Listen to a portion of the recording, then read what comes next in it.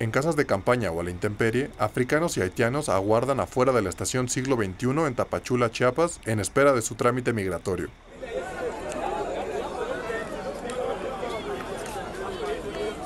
Tras la disminución de cubanos por deportaciones y fugas, ahora son estos migrantes los que presionan para ser atendidos.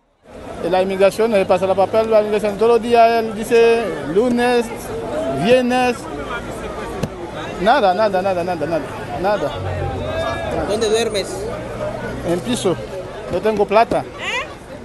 No comen bien. No quiere, no quiere entrar nada. No quiere entrar nada de aquí. Todos los días problemas, muchos problemas. No quiere entrar dentro de inmigración. Yo he vivido así nomás porque yo vendí muy mal, muy mal aquí. De nada, dormir mal, todos los días lloviendo, lloviendo. Aunque escapan de la pobreza y violencia en sus países, los indocumentados enfrentan otras adversidades en México en su travesía a Estados Unidos.